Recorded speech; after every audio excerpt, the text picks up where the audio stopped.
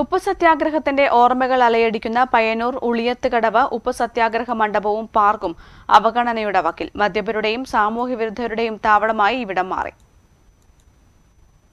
സ്വാതന്ത്ര്യ സമരത്തിന്റെ ഭാഗമായി നടന്ന ഉപ്പ് സത്യാഗ്രഹത്തിന് വേദിയായ ഉളിയത്ത് കടവിൽ രണ്ടായിരത്തി ആറിലാണ് ടൂറിസം വകുപ്പ് പാർക്ക് സ്ഥാപിച്ചത്. നിർമ്മാണത്തിന് ശേഷം പാർക്ക് നഗരസഭയ്ക്ക് കൈമാറി.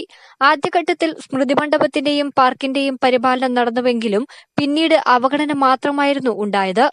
കോവിഡിന് ശേഷം ആരും ഇവിടത്തേക്ക് തിരിഞ്ഞു നോക്കിയിട്ടില്ല എന്ന് പാർക്കിന്റെ ഇന്നത്തെ അവസ്ഥ കണ്ടാൽ മനസ്സിലാക്കാൻ സാധിക്കും. പ്ലാസ്റ്റിക് മാലിന്യങ്ങളും ചപ്പുചപ്പറുകളും അടിഞ്ഞുകൂടി കിടക്കുന്നു.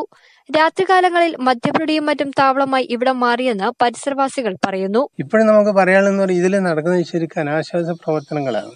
കാരണം എന്ന് പറഞ്ഞാൽ പുറത്തുള്ള ആൾക്കാർ വരിക അവർ നമ്മളിവിടെ ഒറ്റപ്പെട്ട സ്ഥലമാണ്. ഇവിടെ ഒരു വാച്ച്മാൻ ഇല്ല. തുടർന്ന് മറ്റുള്ള ഒരു പിന്നെ ഈ മേഖലയിൽ ആരും കടന്നു വരുന്നില്ല. രാവിലെ കുറച്ച് ആൾക്കാർ നടന്നു വരും. ഉച്ചയാകുമ്പോഴുള്ള സ്ഥിതി ഇങ്ങനെയാണ്.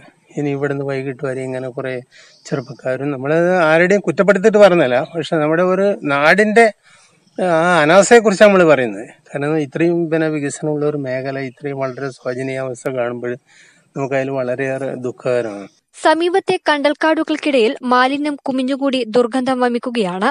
നഗരങ്ങളിലെ ആശുപത്രികളിൽ നിന്നും ഹോട്ടലുകളിൽ നിന്നും ഉൾപ്പെടെയുള്ള മലിനജലം സമീപത്തെ ചെറു തോട്ടിൽ കൂടിയൊഴുകി പുഴയിലേക്കും പാർക്കിന്റെ സമീപ പ്രദേശങ്ങളിലേക്കും കെട്ടിക്കിടക്കുകയാണ്. ഇതോടെ സന്ദർശകർ പൂർണമായും ഉളിയത്ത് കടവിനെ ഉപേക്ഷിച്ച മട്ടാണ്.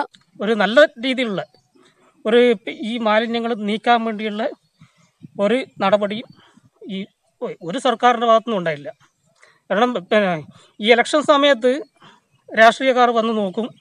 തോട് അവർ അവർ തന്നെ വരുന്ന സമയത്ത് തന്നെ മുഖത്തെല്ലാം കെട്ടി ഇത് കൊറോണ വരുന്നതിന് മുമ്പേറ്റ് അതിന്റെ സ്മെല്ല് സഹിക്കാൻ പറ്റില്ല. അതിന്റെ അടുത്തേക്ക് പോകില്ല കുറച്ച് ദൂരം നിന്നിട്ട് അവർ അത് നോക്കിയിട്ട് പിന്നെ ആ അത് നമുക്ക് ബോധ്യപ്പെട്ടു. നമ്മൾ അടിയന്തരമായി ചെയ്യാമെന്ന് പറഞ്ഞിട്ട് പോകുന്നതല്ലാണ്ട് ഒരു അവസ്ഥയില്ല. കാരണം ഇതിനൊരു ഓവുചാൽ ഉണ്ടാക്കിയിട്ട് ഓവുചാലിന്റെ വെള്ളം കണ്ടു കഴിഞ്ഞാൽ ഏകദേശം ഒരു കിലോമീറ്റർ ദൂരത്തു നിന്നാണ് അത് അവിടെ അവസാനിപ്പിച്ചു.